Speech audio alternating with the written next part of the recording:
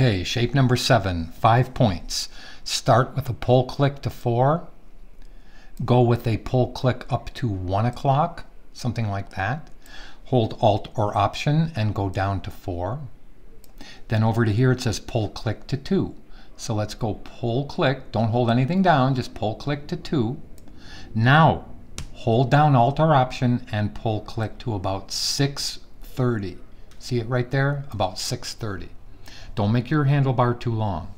Now let me move this up. Now it says pull click to 7 o'clock, just about like that.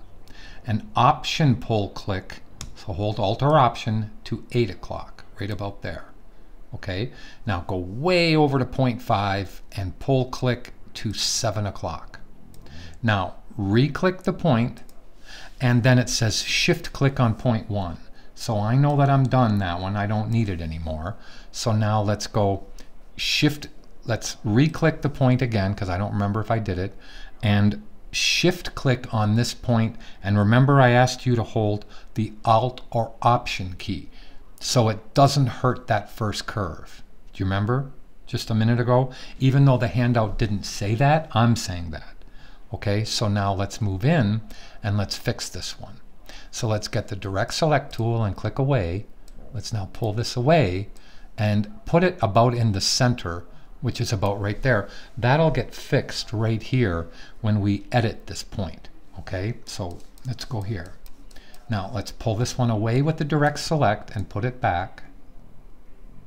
Hopefully this one will go pretty fast. Let's pull this one away, zoom in, and put it back right there. Okay, now let's go down to the bottom, zoom in, move it away with the direct select, move it back. I have to get closer. Move it away and put it back. You see the importance of being close and being able to scroll into these shapes? Let's um, use the space bar to move it over and then option middle mouse button and move it over, get rid of it, and now put it back. Now, let me save the file. I'll move it down just a tiny bit. Okay, now since we're here, let's fix this curve. Okay, so this is just like the first shape. So let's pull it really far. I have to go up like this. Now let's pull this one really far. Oh, sorry about the tolerance here.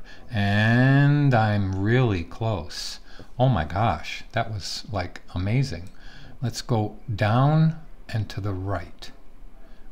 I almost got it in two moves. That was amazing. Okay, that's just fine. So now let's go up to the corner here.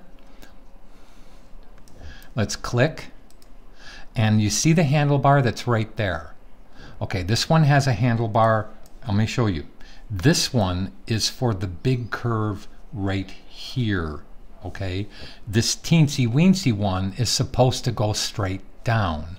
So I'm going to grab the convert tool, click and hold that, and make sure it goes straight down. Now watch the corner fix. You see that? See how it fixed?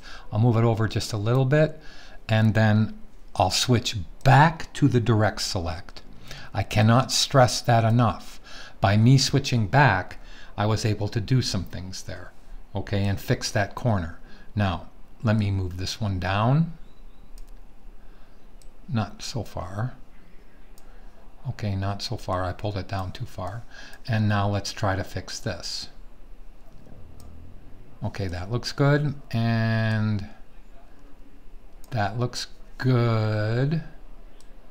A little bit more. A little bit more, Brian. Okay, and now this one needs to come just to the left a tiny bit, and that's it. So now let's go over to here. This one needs to come down just a tiny bit. Good. And this one needs to come over here just a tiny bit. Almost done. And there. Now save the file. Save it after every good thing you do. Now let's click it. This point so I can see this handlebar. I'll zoom in. Let's push the line closer. Okay, now that almost had it exactly right. I'm done that shape. That was a good one. I'll see you in the next shape.